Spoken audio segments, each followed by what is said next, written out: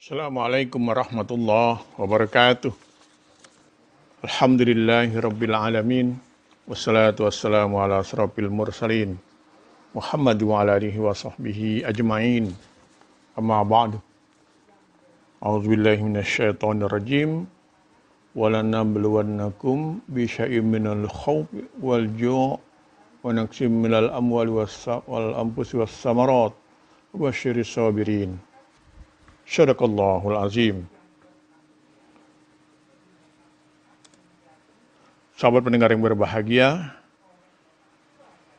kali kesempatan ini saya akan menyampaikan judul sedikit tentang sifat sabar dan ikhlas. Sifat sabar maupun ikhlas hanyalah merupakan sebuah kata. Namun kedua kata tersebut di dalam kehidupan sering terlupakan atau terabaikan oleh kita. Jika kita renungi dalam kehidupan kita sehari-hari, segala persoalan yang kita hadapi telah membuat kita lupa bagaimana untuk tetap bersikap sabar dan juga ikhlas. Kesabaran sendiri merupakan bagaimana kita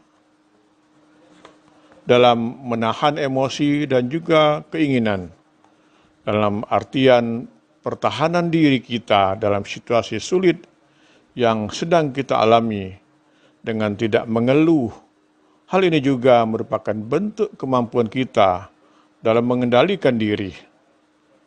Sabar juga dipandang sebagai sikap yang memiliki nilai tinggi serta mencerminkan jiwa yang kokoh bagi orang yang sabar tersebut.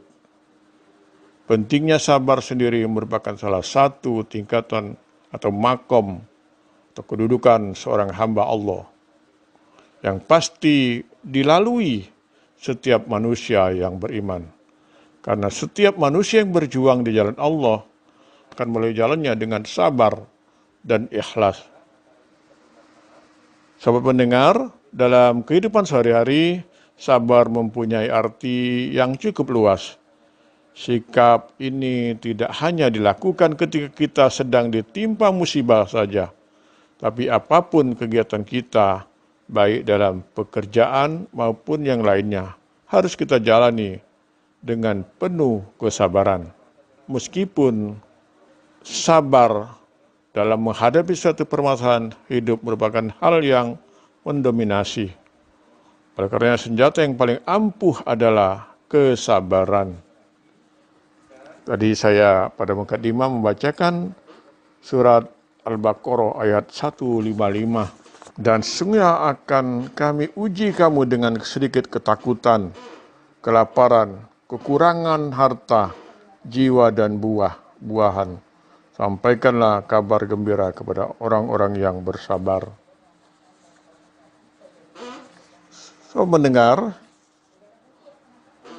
sementara itu kita sendiri merupakan saat kita menerima sesuatu dengan kelapangan hati, terlepas hal baik maupun buruk yang sedang kita alami.